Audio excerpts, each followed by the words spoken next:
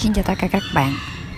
Hôm nay ngày mùng 6 tháng 12 âm lịch à, các bạn, Mình tiếp tục chia sẻ cho các bạn cái video à, gần cuối. Thì chỉ còn một hai video nữa là kết thúc. Là giai đoạn chia sẻ trồng hoa vạn hậu của năm nay nha các bạn.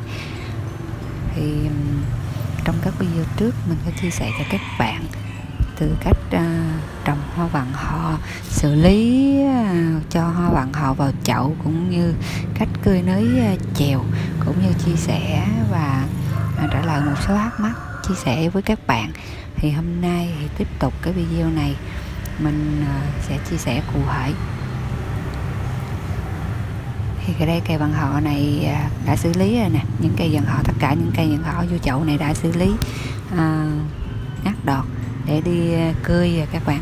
Thì ừ, cái đám vàng họ này thì đã cho vào chậu xử lý chậu.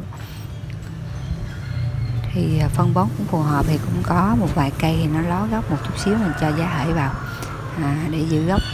Đi cơi hết rồi thì giai đoạn này bắt đầu nó búng hoa hết rồi sắp búng.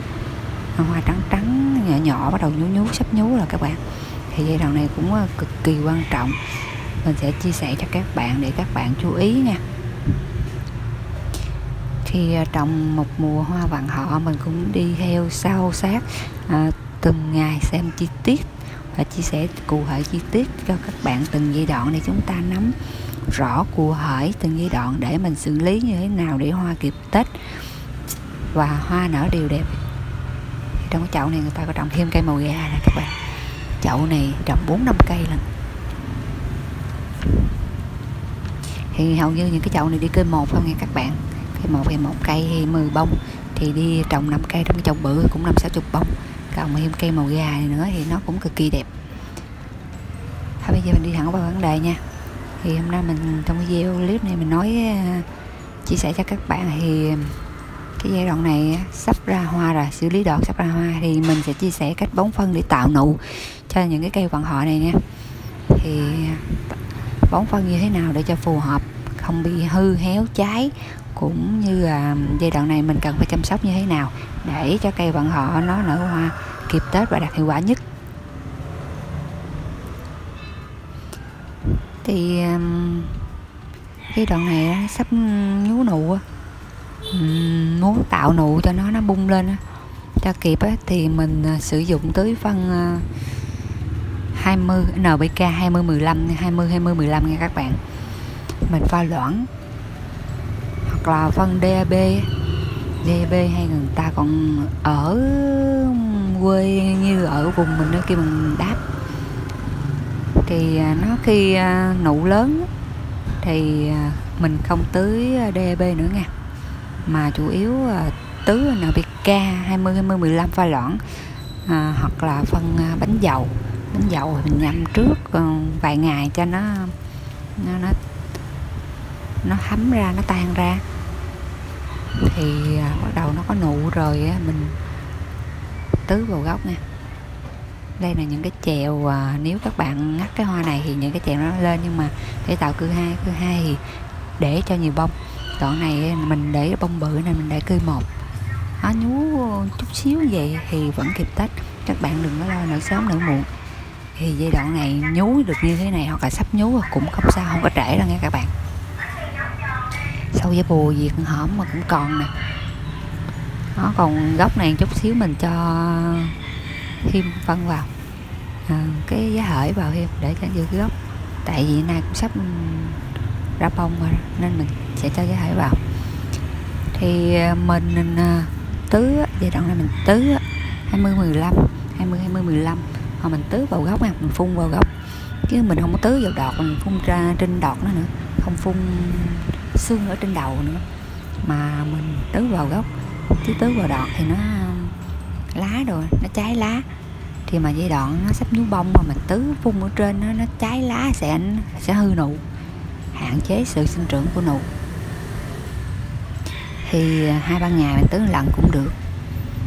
Thì chủ yếu thì để cho nó hấp thụ hết á. Mấy cái phân, chứ nó tồn lại rồi nhiều khi mình tứ nữa, cái nó lại ờ, dư phân. Rồi ờ, nó gây quy lá. Hiện nay thời tiết cũng tốt các bạn, nè, cây này nè. Quá trời nhánh chèo chín nè. Lên tốt oh. cây này ờ, nè nó ừ, hồi năm cặp lá nè.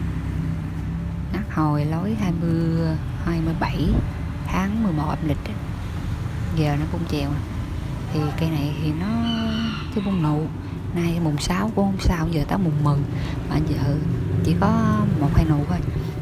Mà còn Tết cậu hơn gần 20 ngày nữa. cho nên nó sẽ nở kịp hết à. Các bạn đừng có lo. Thì mình à, phun thuốc thì còn cái giai đoạn bắt đầu bún nụ là mình không sử dụng DB nó chủ yếu cái, bởi vì DB mình à, tưới chủ yếu thì để cho cây phát triển, lúc còn nhỏ hay nó suy yếu còn những cây này tốt là chúng ta cũng nên tưới DB tưới 20 20 15 hoặc cũng giàu lõn nha các bạn. Mà đừng có tưới sát vào gốc nha. Ý là đừng ha lấy cả nắm tưới vào gốc, như cái video trước mình chia sẻ, nó sẽ chết cây. Thì à, có người giai đoạn này người ta tứ diêm, mà cái dạng người ta có nhiều bạn không biết á, sẽ hải thẳng vào gốc. Tại vì hôm nay mùng 6 rồi, có nhiều bạn vội á, thấy nó chưa bún nụ như thế này nè. Các bạn vội lật đật á, các bạn hút nó bằng cách các bạn hãy diêm vô gốc cái hút. Mà thì cái này video trước mình cũng có chia sẻ là thuốc kiểu đó nó sẽ chết nó rụt luôn chứ nó không phải là bún à, chồi mầm.